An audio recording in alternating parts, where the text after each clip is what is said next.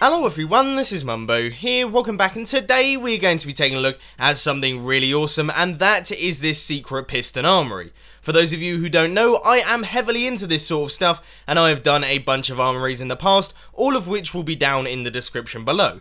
But this is by far my favourite one, it is really really simple and also uses a bunch of new mechanics from the latest snapshots, so let's take a closer look. One really cool thing about the design that you can see in front of you is the fact that it has got a redstone torch key integrated into the build. So if we plonk our redstone torch down there you will see that it opens up our armory. So then we can head on inside pick up our boats and hose and have a fantastic time without anyone knowing that the boats and hose are actually there. But also of course we can do all of the other hidden armory stuff like access other chests our ender chest even a furnace down here. But once you're all done you just grab your redstone torch once again place it down on this block and you will see that our door closes back up and no one would ever know that it was there now as far as the redstone is concerned, it may look like a bit of a mess, but before you start judging me, I want you to know that the blue circuit is actually for the redstone torch key. All of this iron stuff that you can see in the middle, aka this 2x2 square of redstone, is actually all there is to this fancy hidden storage thing that we've built. So if you take a look here when we place down our redstone torch, all it does is we have two pistons that extend at different times to give ourselves a double piston extension. It really is nice and easy and especially if you're not doing the redstone torch key, you are going to be able to do this in about 5 minutes. So without further ado, let's crack straight on with this tutorial. So if you are just building the armory, you want to get things started with a 4x2 area. If you are building all the rest with the redstone torch key, then you are going to need this area here. But we'll get onto that in a little bit. First off with the armory. So you want to take out this block here and place a sticky piston facing upwards and then another sticky piston there and take out the block underneath. Then you want to create a 2x3 area of slime blocks above it with a 2x2 area of regular blocks on their faces. That is going to be the ones that are exposed in your walls, so just keep that one in mind. But anyway, now what you want to do is head down beneath, place a repeater, set it to 3 ticks, and then a piece of obsidian here, or any immovable object, and a repeater, set it to 1 tick, or the regular ticks, with redstone dust connecting them both up, and then when we flick this lever, you will see it extends, and then it retracts. Extends, and retracts. That is your door just done. Easy, isn't it?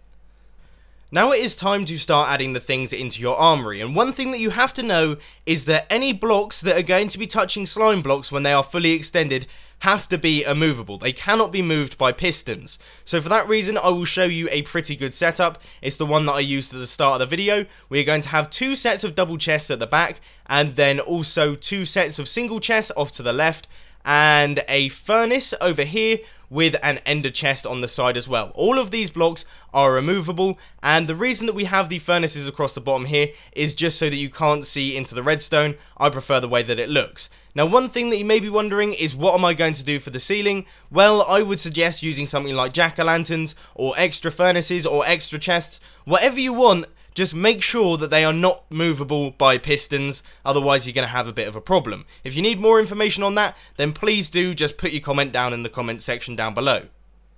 You are pretty much done on your armory, it is all in place, all you have to do is add in the wall blocks and also the floor blocks. But you may be wondering, where on earth is the crafting bench? How am I meant to do any crafting using my armory? Well, there is a bit of a problem there, and that is that slime blocks can actually move crafting benches, which does cause a few problems, but one solution that I have found is that you can place crafting benches in any of these spaces and the armory will work just fine, but you also have access to the crafting bench as you can clearly see. It's not ideal, but it definitely works. Now to do the redstone torch key part of the build, you want to go under this block here and place a sticky piston facing upwards, and then go under this block and place a sticky piston facing downwards with a block on its face, a redstone block to be precise. Then you want to place two blocks like this, repeaters running into a block with redstone dust on the top and an immovable object next to it that should power the piston and you should see straight away that when you place down a redstone torch it gets broken. Pretty sweet. Now all we have to do is run that into a T flip-flop, so next to this piece of redstone dust you want to place a piston facing upwards with a block on its face, and then a repeater running out of that piston, and that is going to be running into another sticky piston with a redstone power block on its face, and you are going to take a repeater output from here, that is going to create your T flip-flop, and that is going to make this thing work. So if we place down a redstone torch now, you should see this extends, and then retracts.